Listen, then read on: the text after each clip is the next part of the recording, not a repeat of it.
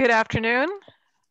Good evening, wherever you are. Um, this is our fifth public session in Democracy Now! and Next, uh, which is a reflection of the task force that CSIS, Freedom House, uh, and the McCain Institute have organized in uh, creating and thinking about a new US strategy to promote democracy and combat authoritarianism. Uh, this is done in partnership with our colleagues at Georgetown University, and I want to thank Nicole Bibbins Sedaca especially uh, for being so collegial and helpful. Today, uh, and now for something slightly different. Today, we're joined by Stuart Levey. Uh, Stuart is the CEO of the DiEM Association. Did I say that right? DM? DiEM, yeah. DiEM, an independent yeah. membership association responsible for the DiEM payment system built on blockchain technology. So I suspect there may be some questions about that. Previously, he was the chief legal officer for HSBC Holdings and served in the US Department of the Treasury as the first undersecretary for terrorism and financial intelligence under Presidents Bush and Obama. And I want to note how unusual it is to have a high ranking official be asked to stay on and, and stay on not just ceremonially. I mean, you, you served from 04 in the Bush administration through, I think, 2011? 2011, yeah. In the Obama administration. So that's a full two years plus uh, into the Obama administration. Uh, during his tenure, Mr. Levey led financial strategies to counter threats to US national security and protect the integrity of the financial system. So, a lot of our conversation over the last couple of weeks has been focused on democracy and democracy in decline. But the task force is also about combating authoritarianism. So, today we're going to start from another angle, the authoritarian side, and with a focus on corruption, which to many is not the first thing that they think about when thinking about democracy and authoritarianism. So let's start with what do we mean by corruption? And how exactly is corruption as a tool or even a business model connected to combating authoritarianism, Stuart? Um, well, first of all, thank you all for joining us. Uh, I appreciate everyone taking the time. And Sarah, thank you for inviting me. Um, yes, uh, you asked the right question, which is, you know, we're, we're looking at a, a strategy to counter authoritarianism, and we have focused in on corruption as one of the major tools. Corruption actually is pretty simple to define uh, at, at, at, one level. It's, it's simply the um, abuse of entrusted power for private advantage or private gain. Um, of course, that's an enormous uh, um, category of things and it goes from you know very small to very large but you know on the uh, uh, in the largest scale we we have essentially state capture in certain countries where it's completely uh, overtaken by corruption and it goes all the way down to very small things like you know, having to pay uh, a fee to somebody to, you know, stamp your passport, uh, you know, and it's all corruption. Uh, it's just a question of, you know, where you focus in on that. And, and the reason that um, we are focusing in on corruption is that essentially, whether you look at it from the authoritarian side or the democracy side, uh, corruption is key. So for authoritarian regimes, um, corruption is a way to sort of consolidate their power and uh, and um, uh, even expand it. And so they use it uh, as a as a means of of of coercion and and expansion. And for democracies, um, it's it, it, can poison a democracy uh, if, if if democracy becomes corrupt. But the, the, the other thing, the other way to think about this is that while it's not necessarily the case that authoritarian governments will be corrupt and that democracies will not be corrupt. It turns out that that is what happens. Uh, you know that uh, the research shows that you know uh, corruption is much more prevalent in authoritarian regimes and much less prevalent in uh, in democracies. Um, and uh, also, democracies get um, you know somehow uh, abused in, in corruption in the sense that one thing that happens in corruption is that people start to steal steal money in their own societies, and they then place it uh, in uh, in open societies and democracies. Um, you know, in some ways, it's it's it's ironic that of course corrupt rulers would rather they, they, they know where to keep their money they keep their money in places with rule of law sure um, and uh, and so that's another aspect of this and so part of fighting corruption is is to is to control the financial system and to and to try to prevent that sort of placement from occurring. Sure. In fact, there's other behaviors. Uh, they place their children in schools uh, where they also place their money, right? So you know, there's an interesting um, set of institutions that, on some level, are enabling. Let me just riff for a second for those of you who have not followed closely what's going on in Russia this is the story of contemporary Russia and the and the Kremlin. Uh, there's an amazing hour and a half uh, dubbed in English uh, YouTube by Alexei Navalny, who is currently in Penal Colony 2, Ikad uh, and it is a examination of, of, it's called Putin's Palace. So if you Google Putin's Palace, you will find it. And it is the story of the Kremlin siphoning off money uh, and building these enormous, elaborate palaces. And I'd also recommend Putin's People. This is a big book, uh, and it is very detailed by the journalist Catherine Belton, who worked for the Financial Times. Uh, and it is the story of first the KGB, then the FSB, and of course the FSB has just this morning been um, unmasked, if you will, by the US intelligence service as behind the poisoning of Navalny. Uh, this is a story about creating bank accounts overseas and siphoning off money. And it is the fragility of the system and the nervousness of Putin that he would seek to poison and kill Navalny and then put him in this penal colony. So this is all very much a contemporary story, uh, and it's it's happening now. Let me ask you, um, Stuart, uh, Freedom House, in its many reports has documented that over, say, the last 15 years, democracy has been in decline uh, in many parts of the world. Even as organizations such as the Open Government Partnership has, has arisen, and, and I want to note, we use the word corruption in many places, but we're, when, we did, when we talk about sort of low level, I paid a bribe kind of thing, versus kleptocracy, which is this grand mass scale siphoning off of it really is different things. Um, but at the same time is it fair to say that oh, as democracy has declined corruption has increased? What's what where, where are you on that? Well it's clear that corruption is increasing as authoritarianism is rising democracy it, it, so it, as i said earlier they're tied together um, uh, that that corruption is getting worse. It's hard to it's hard to measure, right? There there is something it, people may have heard of Transparency International. They measure corruption uh, perception, which is not the same thing as corruption, but they measure corruption perception. That has gotten slightly worse over the last several years, um, and uh, but um, th there's no doubt that this is this is a major problem. I, I'd have to say though, it's also an opportunity, right? Because it's a when you think about this overall um, rise of authoritarianism and decline of democracy, you think, okay, what are our tools to get back at it? What's our tools for fighting back?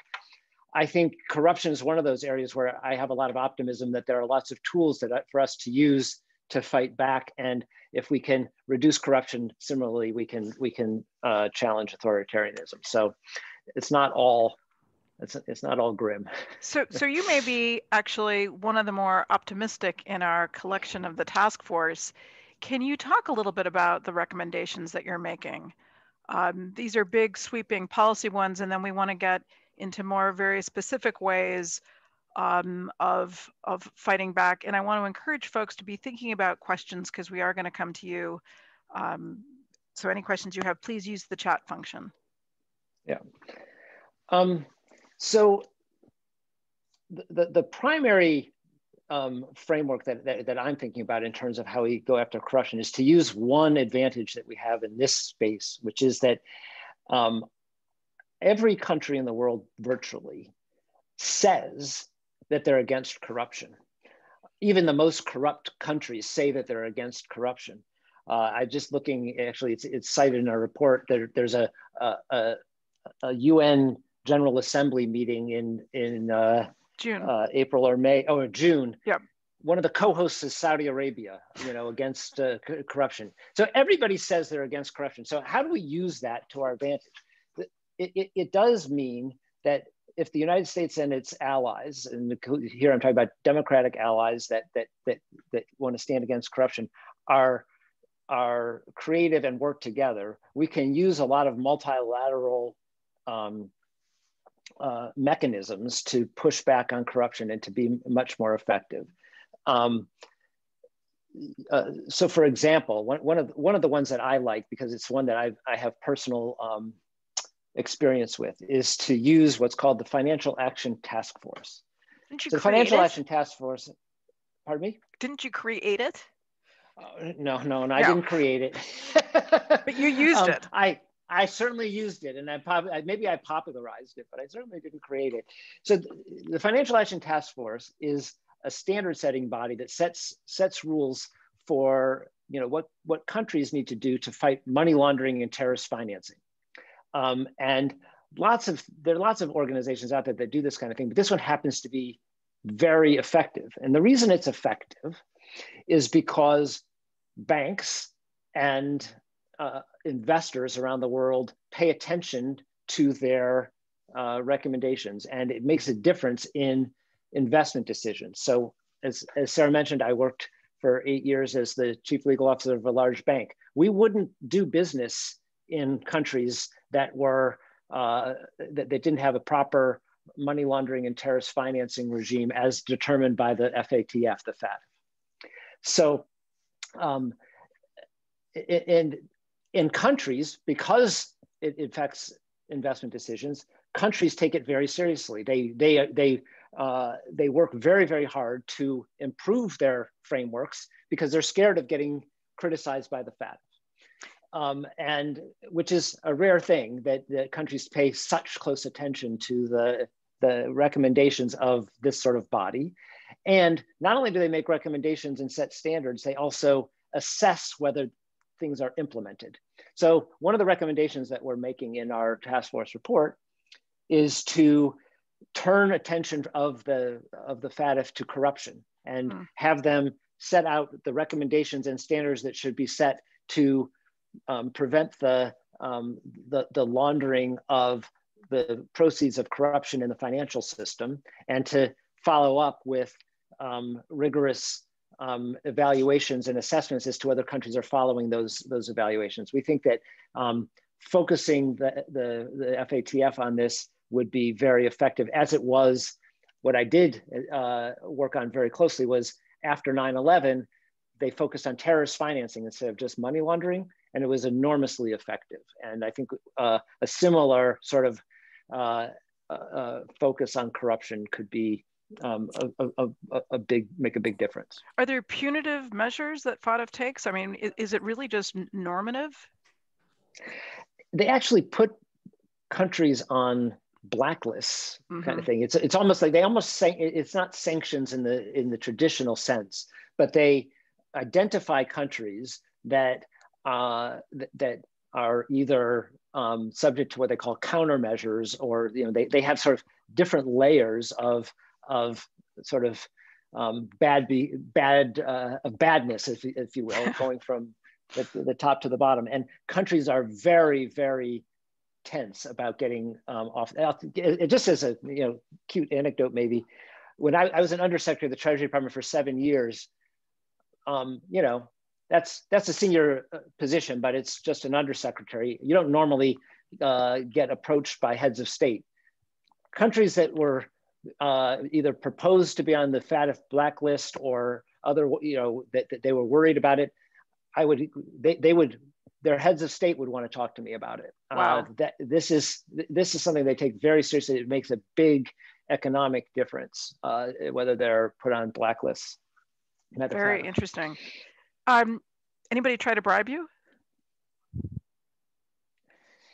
Not, I was, I was uh, actually uh, approached for, uh, um, I, it wasn't about a FATF thing, but I, I do remember uh, in a very corrupt country, which I won't name, uh, asking for a, a, favor and from the head of state. And he referred me to a minister and the minister said, well, the head of state's willing to do, to do this, but what, what do we get?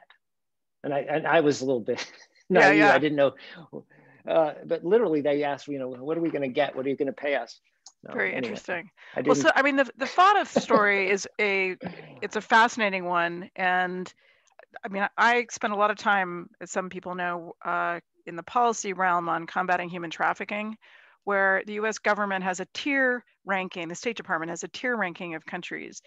It has only it's worked for countries that really care about the reputation, but it hasn't worked for countries that don't care. And there's repeat offenders that end up on the tier three um, trafficking list. And you know we're all scratching our heads about how what more could we do? And I, I, sometimes wonder if the FATF there's something about the way in which the FATF works that we could we could um, adapt uh, I mean, Liechtenstein is very focused as a country on making sure its financial system is not aiding and abetting human trafficking. I mean, I, so I think that there's there's a way in which these worlds are a bit coming together, um, which is which is interesting. Um, I wanted to talk a little bit about the connection between corruption and the undermining of democracy, and specifically how the private sector um, in established democracies, such as banks, uh, real estate companies, contribute to corruption. I mean, I think it's important for folks to understand the massive amounts of corruption is going on elsewhere, but as you noted, there are enabling institutions um, and things that we could do differently, which some of which you're recommending in the report. But you, if you want to have a comment on that, and we've got um, questions coming in. Go ahead.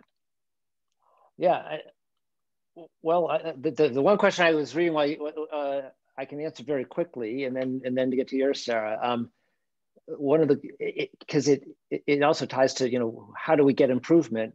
Um, this question about how when you're on the blacklist, how do you get off? Um, it, it, there are lots of good examples of countries that have been on this blacklist.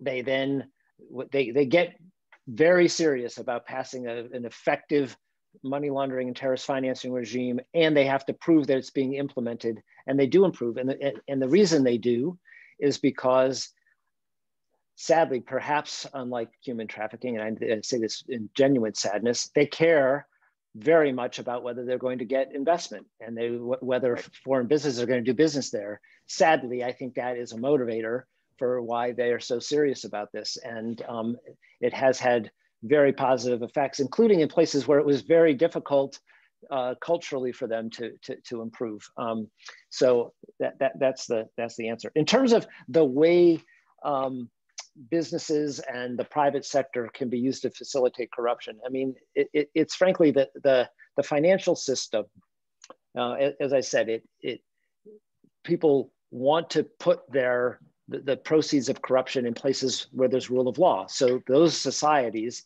will often have uh, lots of corrupt assets parked there. And it's not just, you know, people have this notion of Switzerland in their mind of yes. private bank accounts. And that's a bit outdated to be to be fair. I mean, that's not that it doesn't exist, but that's not just a Swiss bank account issue. That's frankly the United States, the UK, any place where there's rule of law, there'll be lots of uh, there'll be lots of proceeds of corruption parked there. And some of the things that are taken advantage of are for example, hiding behind, uh, you know, complicated corporate structures, mm-hmm. um, hiding the, the um, what's called the beneficial ownership of a, of a company, which is a big, big, big word, but frankly, it just means that people hide who owns, they, they set up a corporation and they disguise who the real owners are. And then you don't know who's, uh, you know, who, who really controls the, the assets. So there, there are um, there's a lot of effort and money put into creating these complicated structures that, is, that are being used to hide uh, corrupt assets. The difficulty is that there are also legitimate reasons for people to create corporations and to and to seek to have some you know privacy in their in their business dealings and the the difficulty is sort of sorting that sorting that out are shell companies well let me put it this way is a beneficial ownership law specifically to deal with the shell company issue um, the beneficial ownership law that was there's one that was just passed in the united states it is largely for that purpose yes mm-hmm. that that um, people say shell companies. It just means that people are creating companies and trying to obscure who owns them. Right. And so there was just a law passed in the United States. Frankly, the United States lagged behind on this. It's one right. of the things that the FATF criticized the United States for, um, that, uh, that there was no place to go to see who owned these corporations. And what it's going to require, with lots of exceptions, is that uh, if you form a new company in the United States, you've got to um, file with the federal government and the Treasury Department um, uh, the identity of the owners of, of that, that company. I mean, this has really gotten into the zeitgeist, right? I mean, that you can see are documentaries on the Panama Papers, but there are also um, Hollywood movies about this, uh, the way in which people park money uh, and and go after these things. And you're absolutely right. People may not know, but uh, this wasn't this in the the defense authorization bill that was passed in December, yes. and it had bipartisan support. So it was a big deal. Also, because I think the Biden administration coming in, if it hadn't been passed, they were very interested in seeing this legislation. So it was a win all around in a time when it was, let's just say, not the headline of the day, if you will. Um, but it's an extremely important aspect of it. Um, the about, sad thing was, Sarah, that so that got passed in December of 2020. Right. Um, I remember recommending that bill in 2006 or seven. Gosh. So the, the, beneficial ownership, and there was quite a lot of resistance to it, even um, you know in the United States. Um, and as I think you you, you mentioned to me, um, the states were sort of being competitive with each other to get companies uh, to register in their states and offering better confidentiality. And there was a bit of a race to the bottom, if you will, uh, in the United States itself, which was, I think, sort of sad. But it's a handful of states, right? I mean, it's it's Wyoming, it's Nevada, it's Delaware. Is it more than that?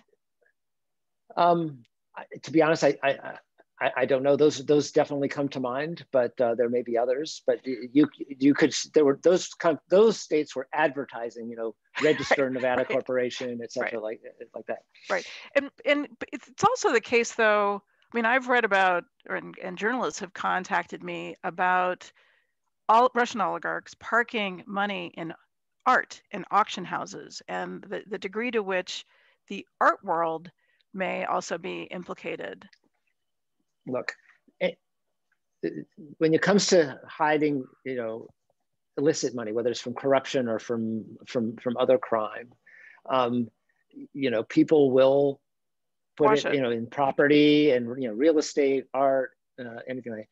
That. I, I do want to. I, do want to make a, an important, what I think is an important point, which is um, that yes, the financial systems of the United States and other democracies are used to hide illicit um, uh, um, proceeds. But um, first of all, the United States is still by far the greatest force for good in fighting corruption in the world, right? And I don't think we should lose sight of that. Mm-hmm. Um, the, the, there's a criminal law in the United States, the Foreign Corrupt Practices Act, which um, you know criminalizes um, uh, bribery uh, and also the, the falsification of, of corporate records to hide that bribes have been paid.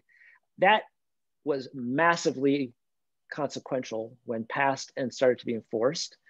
The UK also has a very aggressive anti-bribery act. So these, you know, the, the, United States has improvements to make and we, you know, and so forth, but the, the, the Foreign Corrupt Practices Act is, is critical. And one of the things I would just like to share from my experience, you know, working at a major financial institution is that um,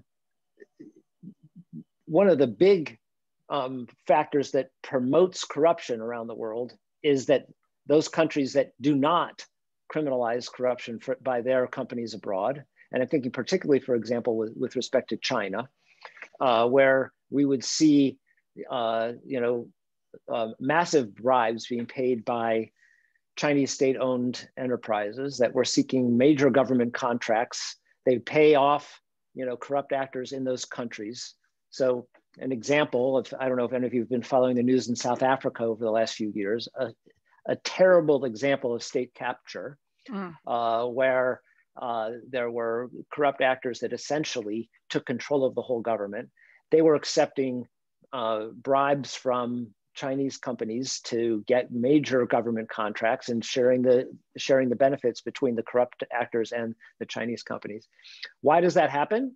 Well, those companies have no fear of being prosecuted at home for paying bribes in South Africa. American companies, European companies, um, uh, do not have that same uh, you know luxury. They're they're they're subject to um, to crim criminal um, prosecution if they if they pay bribes. Frankly, even it used to be France was viewed as a, as a real problem in this area, but even in France, as, as we've seen in recent years, that is um, that that is the case. Of course, and Sarkozy was just yesterday uh, exactly indicted. Um, let's say in the international space for a second, there's a question about uh, Iraq and and government corruption and unresponsiveness, and this gets into the counterterrorism space actually.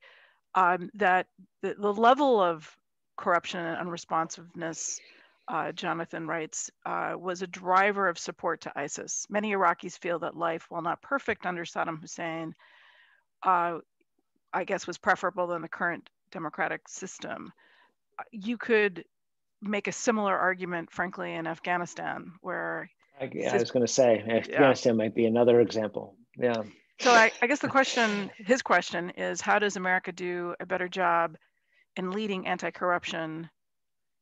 I would say these are two different questions, but leading in anti anti-corruption and democratization efforts for transitional governments.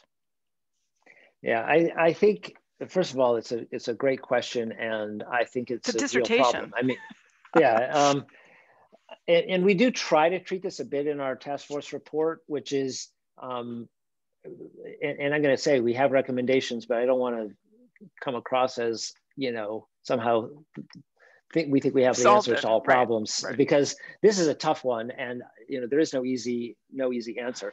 But one of the things that we we want to make sure that we do as a government is look at um, two, two major efforts that we're making as a government. One is that we're participating in all these multilateral organizations that do uh, provide um, aid and concessional loans around the world. So think, you know, the World Bank, the IMF, et cetera. Uh, and, uh, you know, are we coordinating our anti-corruption efforts there to make sure that the United States as generally either the, the largest donor or the, uh, you know, the, the, the one with the largest stake, are we making, using our significant authority in those organizations to say corruption and fighting corruption is, is, is, our, is our number one priority. Um, so that's one thing.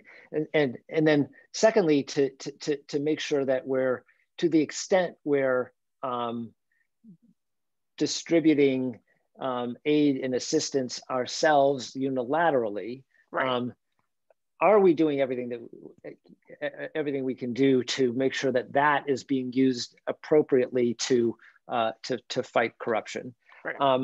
We've seen some models that work better, and one of the things that we're doing is like you know let's take a look at what's what's been tried in the past. What works best? Um, and actually what I'm about to say would not apply to Iraq because I don't think they would qualify for this, but uh, nonetheless, I'll, I'll, mention it. So th there's something called the Millennium Challenge Corporation, which is a pretty small government agency, um, but it has been, I think it's largely viewed as very successful in, uh, in, in, setting out, um, uh, you know, goal, you know, you make it sort of a compact with a country and say, look, if you do the following 10 things, there's, uh, we'll distribute the following benefits. And it's sort of a, um, uh, you know, a, a, very significant set of controls and, uh, and um, monitored very closely. And it's been very successful at getting countries to make, you know, real change. Um, and also, you know, frankly, good for the US from a foreign policy perspective as well. I mean, I, I think the cases of Iraq and Afghanistan really underscore the issue of um, certain ways of talking about national security that frankly downplay the issues of corruption and in some ways downplay the issues of democratization. And so part of the story of Iraq in the last, well, since 2003 and Afghanistan since 2001, uh, and you can even make the argument before then, is a need to, um, in some ways, downplay the corruption aspect and uh, elevate the progress, right? I mean, handfuls of or tons of meetings where people who are working the either either portfolio working in various countries saying, no, no, no, X number of roads are going to be paved. We're going to do all this infrastructure work. And then 10 years later, it hasn't happened. So I think one of the recommendations you guys, in you guys, your working group is making yeah. is um, really elevating, and I think it has great resonance with this administration, is elevating the issue of anti-corruption to a, a much more central position across the interagency. And on some level, this is it, it is part of elevating the issue of democracy and combating authoritarianism. I mean, I mean, I, am one level. When I was at AID, the corruption work was inside my portfolio of democracy, human rights, and governance, which makes sense. Um, but within the agency, the issues of democracy, human rights, and governance were oftentimes viewed as very niche. And within yeah. that center that was under me, the corruption piece, which was, you know, in a lot of ways a platform. I mean, either you got it right or you didn't get it right, and none of the rest would fall would flow. So we, we got to like invert everything. And which is, I, I just have to take a second and say, you know, in the sustainable development goals, getting the work on anti-corruption, transparency, accountability in the SDGs was so important. And that's one of the reasons why we're enthusiastic about SDG 16. Um, so um, we've got a couple other questions. I have some more questions for you, but let's look at some of the, the questions here. Um, a question about banks. So countries may take the FATF blacklist seriously. How does it affect banks? Um, so, and what recourse does FATF have to discipline banks? So FATF itself does not have the authority to discipline banks. It only, you know, um, can um, assess as countries. But what happens is um, regulators, like when I was at uh, HSBC, our, our, major regulator was the UK. Um, if if if we were doing business in a country that was on the FATF blacklist, you know, the regulator would would say, well, that's that's an inappropriate thing. You could be we could be subject to enforcement action. So the governments of each country have the responsibility for overseeing their financial institutions and other businesses. Uh, FATF is just the standard setting and assessment body, but the people who, who participate in the FATF are people from the finance ministries and central banks of those same countries. So they have, they have the, the uh, enforcement authority and responsibility. So here's a question that is uh, about capitalism. Um, I would say the flip side of that is also about communism. Um, and I think you have strong views on this, Stuart. Is there a perception problem in having, I'm quoting, such aggressively capitalistic societies taking a leadership stance on tackling financial corruption? Um, is there ever any sense there's an inherent conflict of interest or values when America likely comes across as such a materialistic place where we clearly have these growing wealth disparities? Yeah, well, it's very like uh, I guess this is Emily's question. It's it's it's a really good point, and it's part of what we're talking about in the task force. I think there is a, a, a bit of a challenge that we face because of the massive inequality that we have in the United States. On the other hand, right, I think there is something to be said for, um, you know, it's different for people to, and I, I, appreciate that I'm about to say, have, you know, people could, could, could take a shot at, but essentially in the United States, for the most part, you know, the, the people who get pe people who get rich, you know, they they've earned it, right, as opposed to have stolen it. Uh, and uh, that that is a difference. Uh, so that people there, there's some rule of law that that applies, and that if you are uh, found to have engaged in criminal wrongdoing, you will be punished. And there, you know, that that sort of has a different feel to the rest of the world than uh, than uh, a country where the rich just happen to be the people who have the power to take the assets uh, or control the natural resources. Um, uh, but interestingly, no, go ahead. I think the difference is really having spent time in the Soviet Union. Um, when the state, when when part of the state is captured, and corruption is an a integral part of the state, you, it's very difficult to imagine that kind of a state having a multilateral approach to combating corruption. What we're talking about is deep um, structural problems in the United States that have to do not, they may manifest in the state, but there's a whole political side to this and decisions that were made, but also need the need, and I think this is becoming a much more mainstream argument, to look at the market uh, and understand and, and correct sort of a market correction. So I, th I think there's, um, it, it is, it's very difficult to explain, but there's a fundamental difference between an entire system that is uh, built on um, governing in a certain way uh, that has corruption at its core. Um, we clearly have a lot of imperfections here, but that that that doesn't describe actually where we're at.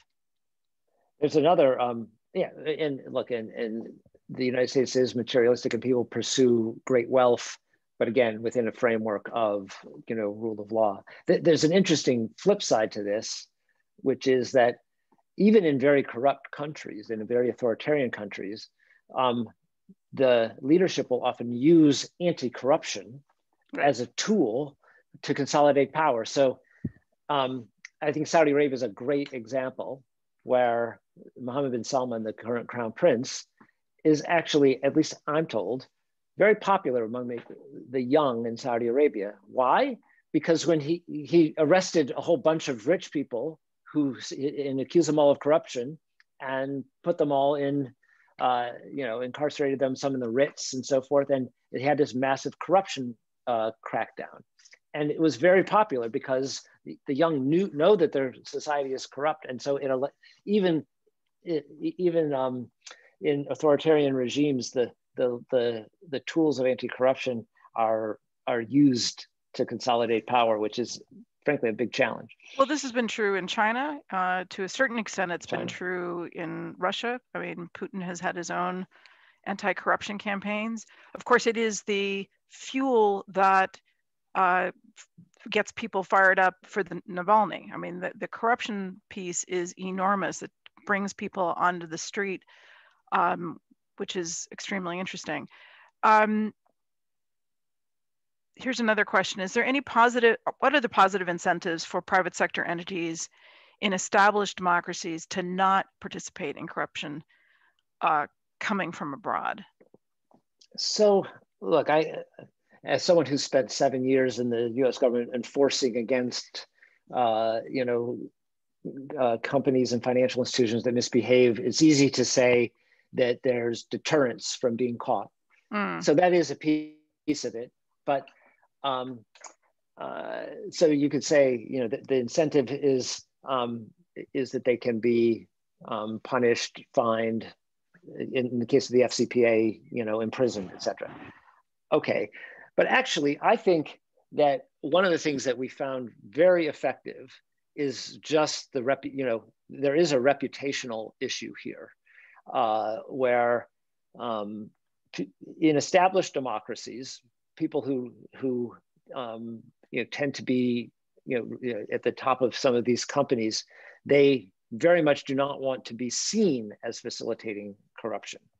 Uh, and I was, I, th I think I had much, much more success um, going to talk to CEOs of, of, of companies and financial institutions and talk to them about the reputational risk of some of the things that they were doing that, that, that was much, much more effective than, um, than uh, uh, you know, enforcement actions, which are slow, take a lot hmm. of time, and are expensive. So I think there is a, a reputational, and, and actually, um, we, we, we see examples of, of this stuff being exposed in the press and it having real impact on, you know, where, where corporate leaders lose their jobs, et cetera, if they're, if they're found to be involved in things. I, I, go ahead. No, no, you go ahead. I was going to tell a story that had nothing, it's not so much corruption, but it has to do with other similar illicit activity about facilitating uh, um, questionable transactions for Iran. I remember when I was the Treasury Department and uh, uh, Hank Paulson became the Secretary of the Treasury. And I, uh, one of my first meetings with him is I briefed him on what we saw as Iran's procurement network around the world and how they were procuring the items for their nuclear missile program. And there were all sorts of main, main, you know, first line banks around the world facilitating these transactions. And he, I finished the briefing and he said to me, are you going to sanction all these banks? It's going to do, it's going to be, it'll be unbelievable. And I said, no, no, no, I'm going to go talk to them all. Hmm. And, um, and just going to talk to them all and saying, you know, they didn't know what they were, they, they at least they didn't have a full they, they, could pretend they, they didn't know at least. Yeah and, and, they hadn't really focused on it and they certainly hadn't had been confronted by it, uh, uh about it by the us government but an enormous amount of the pressure that we were able to put on iran when it was you know prior to the jcpoa came from just going to talk to people and say listen this is what's going on do you realize this and they and a lot of them just stop so, so let me just be clear so you're saying that you walk in you tell the secretary there's X, Y, and Z mainstream bank that this government is using to to do what? To wash procure, its money. Pro, procure, to procure. Procure items for their nuclear missile program. So the banks are essentially a part, they unwittingly or wittingly a part of the missile program. Yes. And I think when you say unwittingly or wittingly, of course that's important, but there's a whole range of, you know, maybe they don't quite understand maybe they do understand maybe they don't you know but but if you go in and say to them look mr ceo or mrs ceo but mm-hmm. this is what's going on here uh, are you aware of that you know most likely they haven't been made aware of it that starkly and you know it led to a lot of them just saying we're, we're stopping you mm-hmm. know and they stop you know anyway so it's true with the corruption too if you go to go to people and say and, and i know it was true uh, when I was at, you know, I don't obviously not going to give examples, but at, at, HSBC, we wouldn't necessarily know uh, that something was the proceeds of corruption. But if someone shared that information with us, then we say, well, we're, we're out of that You know, then uh, we'll cut off the business. Sure. So where are you on? This is a question that comes up in a lot of Russia conversations. Well, you know, shouldn't the Biden administration just expose the, you know, Putin's wealth? um, or some coalition of democracies. Where are you on this exposure question?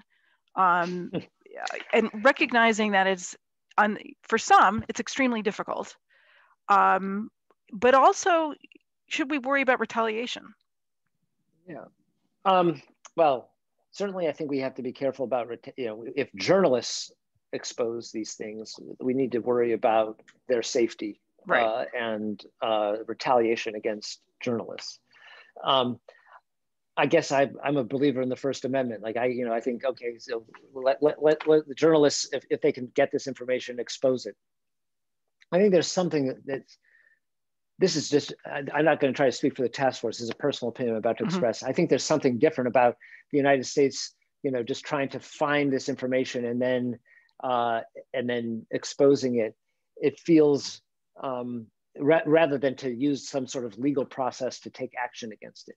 I think just trying to find information that you think is embarrassing and exposing it feels um, like the KGB.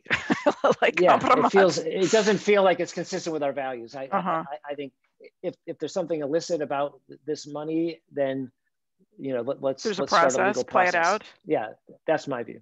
Mm -hmm. Although even then, so for example, when uh, Yanukovych fled Ukraine. This is the president of Ukraine that uh, was refusing to uh, negotiate with the EU and then fled to Russia. Um, and, the, and Yanukovych, as a family network, had been funneling off billions of dollars, right? Essentially, oil money. Um, it was a whole team, I think, at the ba- at the World Bank that was set up to try and find that money and essentially repatriate it to Ukraine. But it's extremely difficult, and and Ukraine is a great example because the corruption and the, the, the Russian government's desire to have a, a, corrupt Ukraine flies exactly in the face of those in Ukraine who want an, a peaceful, prosperous, independent, democratic Ukraine. But you know, I mean, part of the portfolio of supporting democratization has to be on some level, not only the fighting the anti-corruption, but if you do have rulers that are siphoning off this money, how do you get it back into the coffers of the government? Yeah. So this, um, you know, tracing and repatriating of, of illicit assets is a big enterprise. Actually, the World Bank plays a big role, as you mentioned, Sarah. Um, and uh, it's very slow and tedious. It takes a long time. But again, I think, it, but there is a process that you know has to be followed. Uh, I think, as opposed to just exposing it. Um, one interesting thing on this uh, uh in this area is that countries that used to be the war, among the worst actors here, where they you, you would run into a dead end, like Switzerland, are now much much more cooperative with repatriation efforts. Why? Yeah, it's a why? similar thing to what I said about the FATF. They're, they they are worried about being viewed as a uh, a haven country and therefore cutting off business opportunities. So they don't want to be criticized for being a haven, and so they've become more cooperative uh, on repatriation. Switzerland's a good example. Uh, Switzerland is now more cooperative in terms of repatri repatriating um, uh, assets stolen by corrupt leaders than a lot of other countries. Is this also a legacy, though, of World War II? I mean, of Nazi stashing or or taking the, the, the funds of victims and, and stashing it in Switzerland? Um, I, I'd like to think. I mean, their their cooperation on repatriation, I think, you know, is late came later in time than the exposure of what had happened in World War II. Um, hmm. So I, I think it's a separate cause. so we have a couple technical questions. I have a technical question first. One is, um, what are unexplained wealth orders? This is something you probably had you ran into in the UK. Yeah. And and yeah. should we have them? I mean, first of all, what are they? Does the UK actually use them? If not, why not? And should we be creating them here? So when I first heard about these, I thought this is a fantastic idea. So in the UK, there's something called an unexplained wealth order, which you know uh, if folks have been to London, you, you may be familiar with this, where you know the, the, the housing in London is enormously expensive. So there'll be some somebody who'll buy a, a flat for 15 million pounds or something like this, and it uh, and people were saying, well, how did this person who's like a Russian oligarch or whatever get this money and to buy this 15 million pound uh, uh, property? So in the UK, the National Crime Agency can can go and say, we, we need you to prove where your money, where the money to purchase this, these properties came from.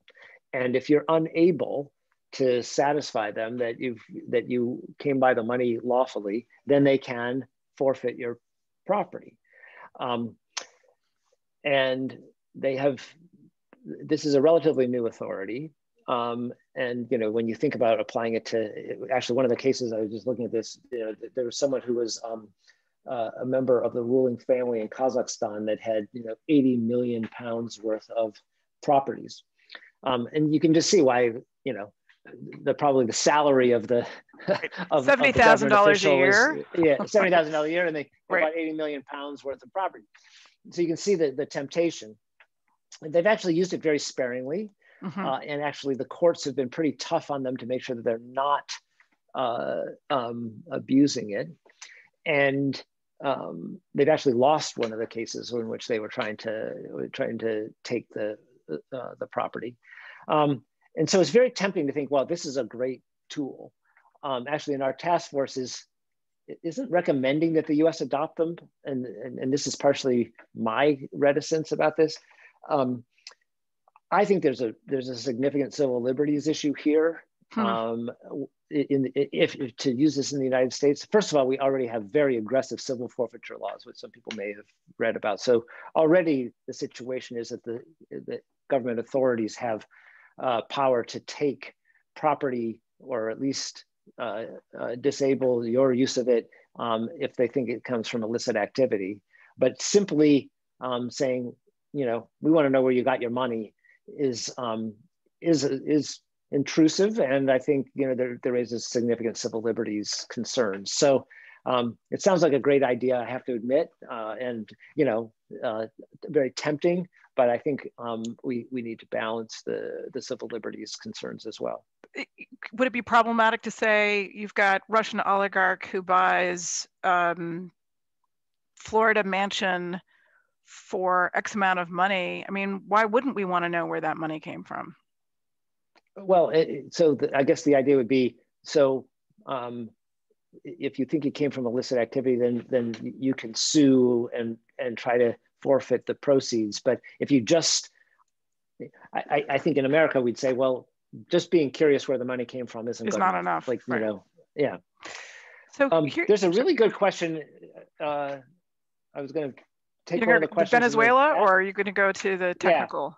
Yeah. Venezuela. I was going to go to Venezuela, right? Yeah. So absolutely. So let's uh, let's so be this, clear what the question, the question is. Yeah, um, the question is. No, go ahead. Are there conditions under which you would not repatriate the money? Um, you know, I mean, I was making the case a minute ago that this money ought to be repatriated to Ukraine. That that Ukraine has uh, enough rule of law in place to be able to handle it, and lots of people who are very interested in establishing transparency and accountability. But in current Venezuela, would it make sense? And people have to understand Venezuela was the richest country uh, in that region, um, huge oil wealth. Uh, and it is now a, terrible state failure. I mean, the health system, gosh, when I served at USUN, we were heartbroken. I mean, it, it, it's just, it's a terrible story. Uh, it, if you have trouble understanding the importance of governance, look at Venezuela. So the question is, wouldn't we better off if we are able to track this money, uh, using it to support refugees, Venezuelan refugees, for example, in Colombia? Yes, um, so I agree with this sentiment entirely. And the example I'm most familiar with is Libya, mm. where when I was in the government, which is now a long time ago, uh, we froze, you know, 30 billion on my very last day in the Obama administration, we froze 30 billion dollars worth of Libyan uh, money around the world. Wow. Uh, most of it in the United States. And I think it's still frozen, right? Huh. Because the question is, who are you going to return it to? So it was frozen to make sure that at the time Gaddafi and his family didn't didn't abscond with it. Um, but even to this day, I believe, and I haven't checked this, I, I, I think that it's hard to determine who who should get it, mm. you know, who should control the money back in Libya. And so what, what makes sense is, as I think the, this question suggests, is that you don't send it back to a government that's going to squander it, or whether it's just going to be tied up in, in disputes as to, you know, who's legitimate government. Um, and frankly, if you could find a way to use it for the, be- you know, my view of it was this is for the benefit of the people mm. uh, of Libya. Um, and I, I, think there's a the, the, sentiment in this question is right. You know, this the, the Venezuela's money should be for the benefit of the people of Venezuela. If there may be legal constraints around using it for particular groups of Venezuelans versus others, but you certainly wouldn't return it to the, you certainly wouldn't repatriate it. I do wonder whether we have the multilateral system in place to be able to handle it. I mean, the only thing I can think of is a country would have to go into basically receivership, like a, a Kosovo, if you will. Uh, and so and there are all sorts of problems with that. I mean, and at this point, Libya is is you know home to large swaths of parastatal Russian uh, militia, uh, and so it's yeah. Yeah. Well, in, in Libya, I think the UN got involved, which is, you know, one other way to, I mean, which is not, you know, necessarily the best answer. governance, right. but, but right. it's, it's at least something. Yeah. Um, so here's a question, and this may go actually to your day job. Uh, maybe. Could you si shine some light on what are technological approaches to measuring or sensing corruption? Um, I guess a flip side a of this is is Bitcoin question, an answer to this? Um, well, yeah, that's. And if too, not, why not? It would be nice to say. Yeah. So, um, first of all, measuring corruption is very hard, and mm-hmm. so that's why the most prevalent measure is perception. You know, because people, it's I, I don't want to be flip about it, but people know it when they see it, like like a lot of things. Uh, and so, asking people um, you know, is your society corrupt? You know, or and there are also measurements about, you know, the ease of doing business and the, you know, the, the integrity of doing business. And so a lot of it is, is done qualitatively. Um, you're it, turning it to, you know, virtual currencies. Uh, there is something about the possibilities that come from virtual currencies um, that does go to my day job. So uh, uh, you know, at Diem, which people may have heard of previously as Libra, we've changed our name to Diem, which is a, you know, we're trying to set up a, a private uh, uh, um, blockchain-based digital currency where um, you know we would have uh, greater transparency on you know how money was being used and you know for example there are ways that you could use this to fight corruption like you you know in terms of sending in aid you could program the money so it can only be used for certain things, for example. Yeah. And that's something that you can't do with fiat currency. On the other hand, digital currencies can be abused terribly. Um, so China is setting up a, you know, its own central bank digital currency. What, what, what is the main feature of, of China's digital currency? That they will have complete, you can call it transparency, or you can say they will know every transaction of every person who transacts in wow. their digital currency so that the central government will know, you know, who, um, uh, you know, who's giving money to whom and for what. And of course, then they, you, you combine that with social credit scores and so forth, and it becomes an amazing tool of oppression. So, um, you know, it's just like so many other things. Technology right. can be used for good or can be used for evil. Right, right. That's an amazing I mean, this is this is headline today. This is happening right now. Yeah. Exactly. Um, so you know, this is the. I think one of the great things about this task force is that we did include this issue about finance, development, corruption as as part of it. So many discussions about strategies around promoting democracy or combating authoritarianism don't have that expertise in the room. So we're extremely uh, grateful. Um, we have we have come to time. Um, I want to thank Stuart so much for taking the time to be with us. For those of you registered in the class, we have a small group discussion Thursday, same place, same time. Uh, and then, yeah, that, well, um, and then Tuesday, March 9th, we're going to be joined by Mike Green, Senior Vice President for Asia and Japan Chair at the Center for Strategic and International Studies, who's been running the working group that's looking at how democracy interacts with trade and development options and challenges. So thank you so much, Stuart. This has been um, hugely interesting, enlightening, and um, topics that just don't get enough airtime. So we well, really thank, thank, you for inviting me. Thank you for inviting me. I really enjoyed it and I appreciate the questions. Don't miss Mike Green. He's great. Yeah, he's great. He's great. All right. All right. Thanks, Sarah. Appreciate it. Thank you, much. Stuart. Be well, everybody. Stay safe. Bye-bye.